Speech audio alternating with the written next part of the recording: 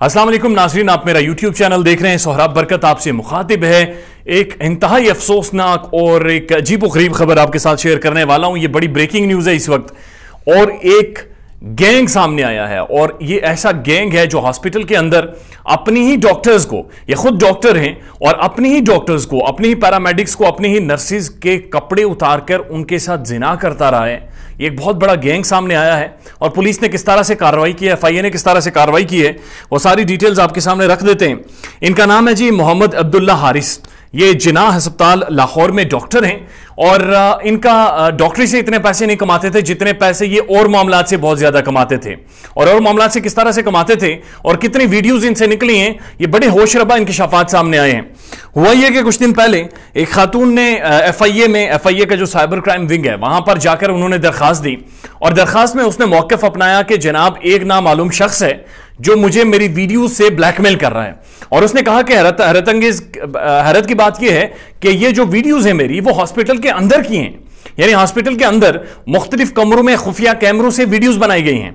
और उन वीडियोस थे, वो मुझे ब्लैकमेल कर रहा है। और एफ़ ने कहा कि आप इस, और ये बंदा, आप मुझे कह रहा है कि आप मेरे साथ मिलें, मैं आपके साथ ज़ाहिर है, एक एक सेक्सुअल ताल्लुकात बनाना चाह रहा हूँ।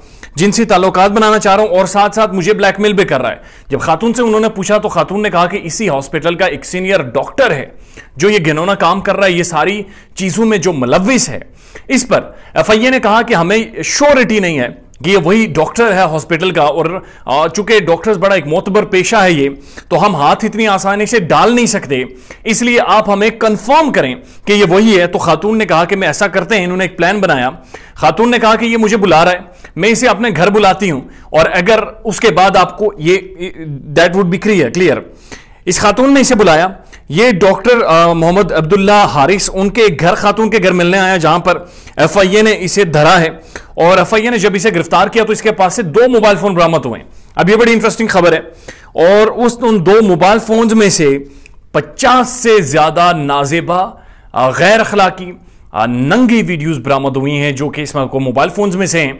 और वो 50 से जाहिद नंगी वीडियोस किसी और की नहीं है, उसके अपने कलीग्स की डॉक्टर्स की फीमेल डॉक्टर्स की सीनियर डॉक्टर्स की पैरामेडिक्स की नर्सिस की फार्मासिस्ट की, उन सारे हॉस्पिटल का जो अमला है, वो जितनी खवतीन हैं, उनको ये किसी ना किसी तौर ब्लैकमेल करके उनकी नंगी वीडियोस, उनकी नंगी तस्वीर ये बनाता रहा और उनकी तस्वीर को फोटोशॉप करके भी ये ब्लैकमेल करता रहा और उनसे एक बड़ी अमाउंट बड़ी तादाद में ये पैसे आते आता रहा और उसके बाद उन्हें मजीद ब्लैकमेल करके उनके साथ जिनसी ताल्लुक भी बनाता रहा।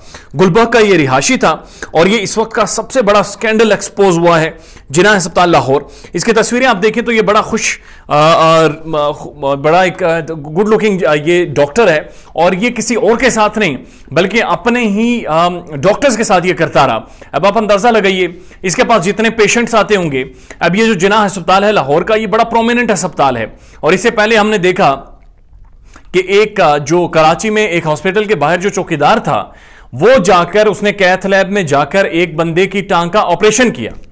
वहाँ तक तो बात समझ में आती है हमारी नायली की, लेकिन अब इंतहा यह है कि ये जो नया स्कैंडल सामने आया, इसमें ये डॉक्टर मुबैना तौर पर इसके दो मोबाइल फोन्स में से 50 से ज़्यादा वीडियोस नंगी निकली हैं जो इसने अपने ही हॉस्पिटल की मुख्तलिफ़ डॉक्टर्स की आ, की बनाई हैं और उनके साथ ये गैर अखलाकी काम भी करता रहा उनके उनको बढ़ाना भी करता रहा उनकी साथ जिना भी करता रहा और इस और उनसे ब्लैकमेल करके ये पैसे भी लेता रहा और ये भी बताया जा रहा है कि अब ये बहुत सारी खवतिन को ये कह रहा था कि वो उन्हें अपने दोस्तों के पास भेजेगा और दोस्तों के साथ इसने ऐसी डील्स की थी कि उनसे ये एक रेवेन्यू बनाएगा।